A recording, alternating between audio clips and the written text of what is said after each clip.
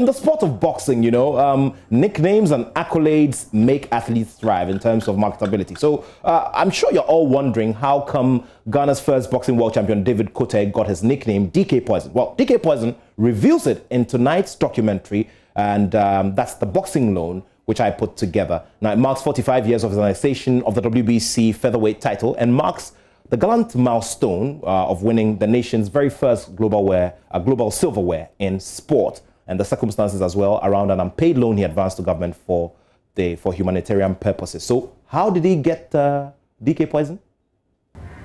I've been telling you that I'm destined to be a world champion. The poison came from my my parents, not uh, my grandfather. Okay. You know, my great grandfather was a mm. fisherman. Okay. Jamestown here. And each time they go to the seaside, you know, each maybe Tuesday or other when they go to make the next yes. had a fight, you know, free fight. He was champion there. Asafatre was the champion. So when I was born, if you could, if you can watch here carefully, you see the lumps here. There's a lump, yes. It's there.